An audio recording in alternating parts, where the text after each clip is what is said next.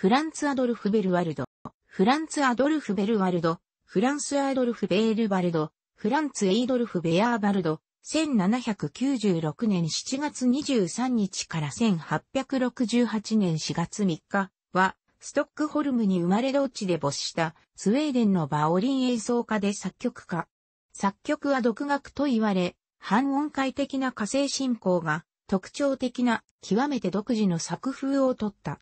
そのため生前はなかなか理解されなかったが、現在では近代スウェーデン音楽の基礎を作った一人として認められている。ベルワルドは4代にわたった音楽家の家系に生まれ、幼児期から宮廷歌劇場バイオリン奏者の父親にバイオリンを学び、間もなく演奏会に出演するようになった。1811年にスウェーデン国王カール13世、ヨハン、グスタフ3世の弟が実権を握り、宮廷礼拝堂を回復すると、その翌年にベルワルドは同礼拝堂に就職し、エドワール・デュピュイ、エドワール・デプイーに指示しながら、宮廷楽団や宮廷歌劇場でバイオリンを演奏した。また、作曲も手掛けるようになる。夏は宮廷楽団のシーズンオフだったので、ベルワルドはスカンジナビアやフィンランド、ロシアで巡演した。この頃にベルワルドは70奏曲やセレナーデを作曲しており、まだ音楽にやりがいを覚えていた。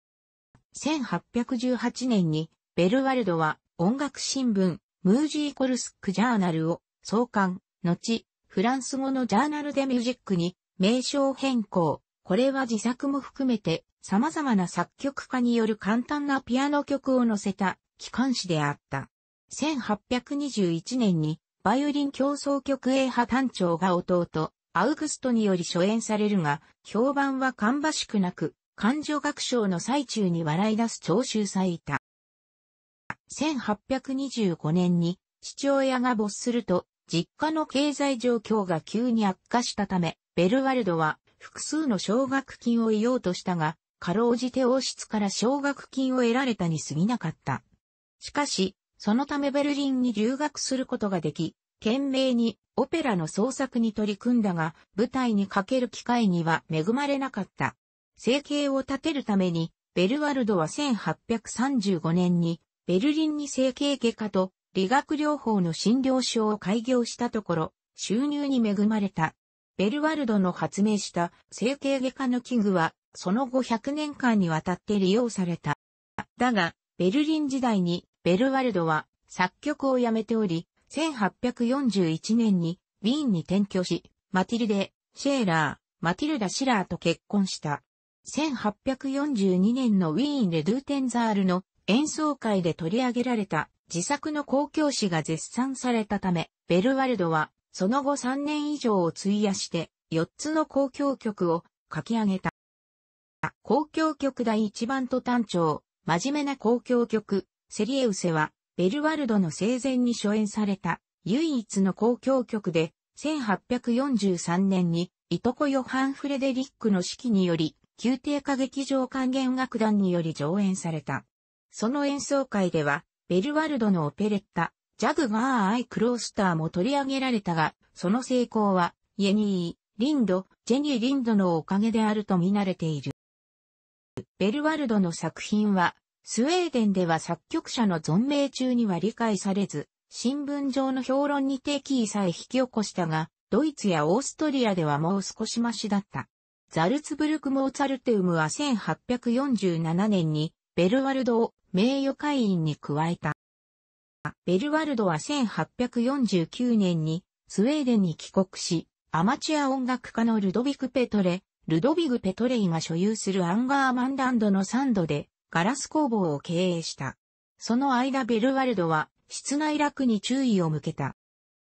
ベルワルドのオペラのうち、存命中に上演されたものは数少ないが、その一つ、ソリアのエストレッラは1862年4月に宮廷劇場で初演された際、大いに喝采を浴び、同月のうちに4回追加公演が行われた。この成功に続いて、ドローニンガン AV ゴルコンダが作曲され、1864年に上演される運びになっていたが、宮廷歌劇場の監督者の交代により実現されなかった。